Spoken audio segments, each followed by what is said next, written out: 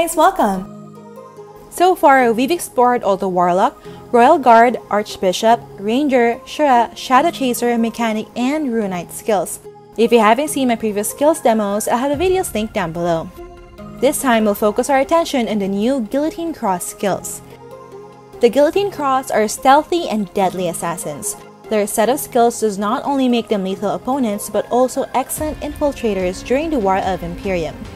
In this video, I'll be featuring my guildmate Tanch as we explore all the Guillotine Cross skills and demonstrate each one in action.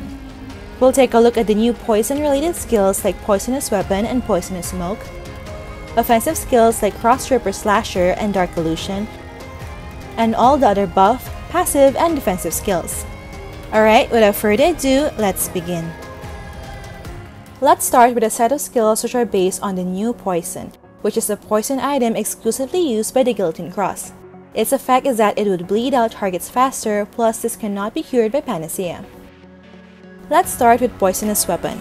This is an active buff which applies the new poison on the weapon which increases attack by 10% for 150 seconds at skill level 10. Attacking with a poison weapon would have a 5% chance to inflict the enemy unit with new poison for 20 seconds. This can stack up to 3 times. This can coexist with enchant poison.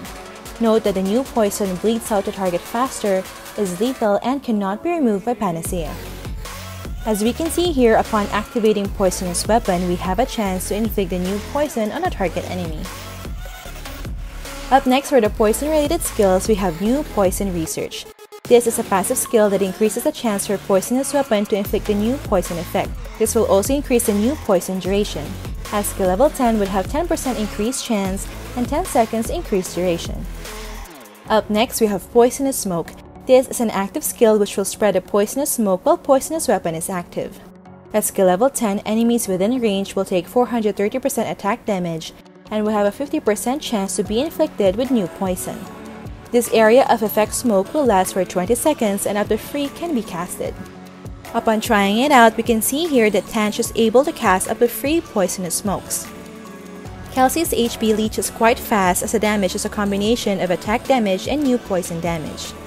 This is an excellent War of the Emperium skill to disrupt enemy formation. At this point, let's take a look at the free runes catered towards enhancing the poison effects. First off, Poison Burst will reduce the healing effect of targets affected by the new poison. Each rune would reduce the healing received by 5%. There are 3 runes for this which would give a total of less 15% healing received. Note that we can have 3 stacks of new poison, thus with this rune activated we can have as much as less 45% healing received. Next, Toxic Spread would increase the duration of new poison by 2 seconds for each rune. There are 6 runes for this giving us a total of additional 12 seconds duration. Lastly, Poison Attack increases poison attack damage by 1% for each rune.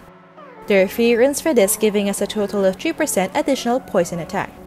Alright, lastly for the poison related skills, we have Antidote. This is an active skill which will remove the new poison effect from all party members within range. Upon trying it out, we can see here that Reese is able to remove the new poison status from Kelsey. In essence, only fellow Guillotine Cross can remove the new poison effect. Up next, we have a number of offensive skills starting with Rolling Cutter. This is an offensive active skill that will deal physical attack damage to enemies within a range. For each enemy hit, one rotation counter will be obtained, which can stack up to 10. Activating the Rolling Cutter cut runes will boost Rolling Cutter's damage by each rotation counter. Each counter would increase the final damage by 1%. There are 5 runes for Rolling Cutter cut which will stack the final damage output. Up next to supplement Rolling Cutter, we have Cross Ripper Slasher. This is an offensive skill that will consume all rotation counter gained from Rolling Cutter to deal physical attack damage to an enemy in the distance. At skill level 10, 710% attack damage will be dealt, and each rotation counter stack will increase the final damage by 20%. Because this skill is amplified by the rotation counter, this deals considerable burst damage, thus this mainly finds utility for MVP hunts. To demonstrate the impact of rotation counter stacks, here is the damage with a full rotation counter stack, and here's the damage without any rotation counter stack. We can see that there is a big difference in damage, thus we should be mindful of the stacks to maximize the effect. Note that this can be used in combination with Poison Cast, which would multiply poison damage by 100%. Activating the Cross Ripper slash Strong runes would add 3% to the final damage per point of rotation. There are 8 runes for this, giving us additional 24% to the final damage. Up next, we have Cross Impact. This is an active skill which will strike an enemy for 7 times, dealing 1.3 times sonic blow damage at skill level 5. The cross impact damage is based on your sonic blow level. Even with a max level cross impact, it will give minimum damage with a low level sonic blow. However, as we can see here, if we have a higher level sonic blow, we'd have higher damage. Sonic blow level 15 would deal 700% attack damage. If we add a cross impact multiplier, the damage will be further amplified. Up next, we have Dark Illusion.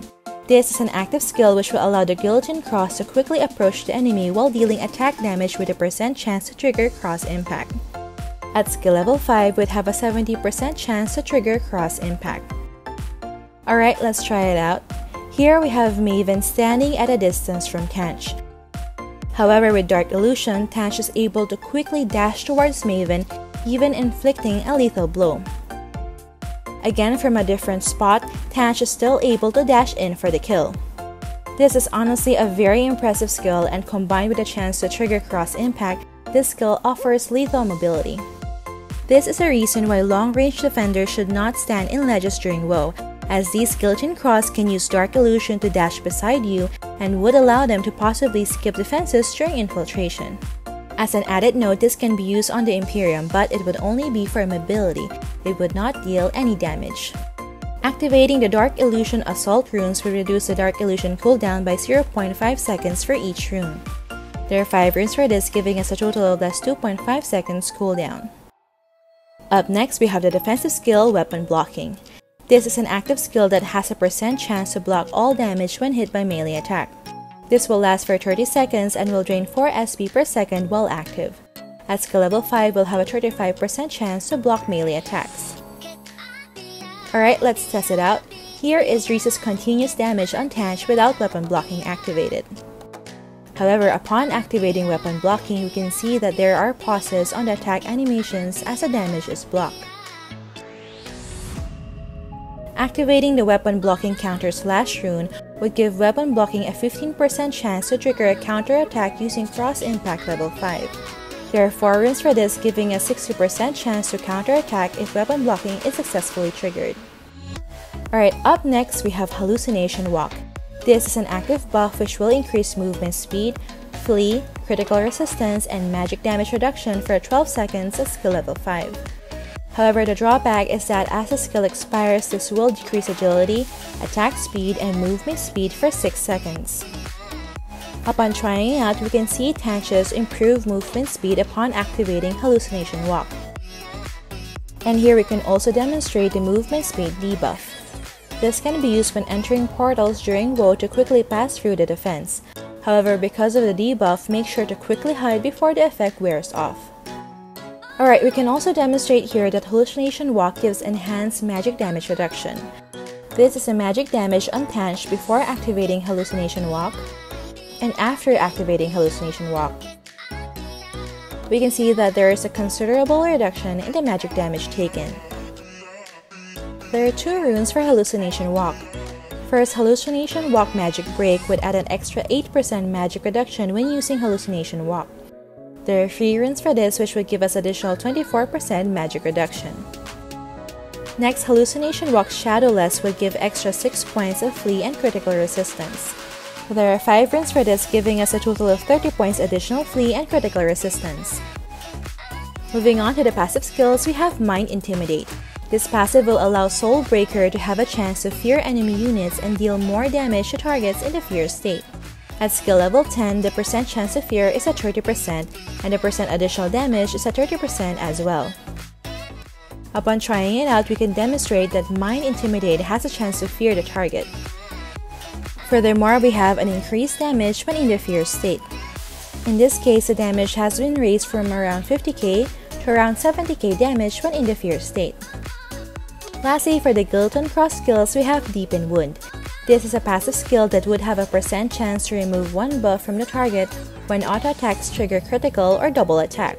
At skill level 5 would have a 60% chance to remove one buff.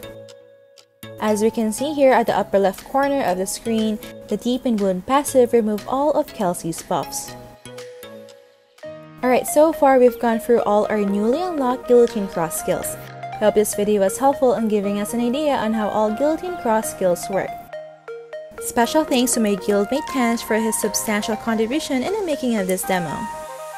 Okay guys, we're already at the home run with our skills demo videos. Make sure to stay tuned for the finale, the last but definitely not the least, the genetic skills demo. Alright, that's it for this video guys. Don't forget to like if you enjoyed watching this guide.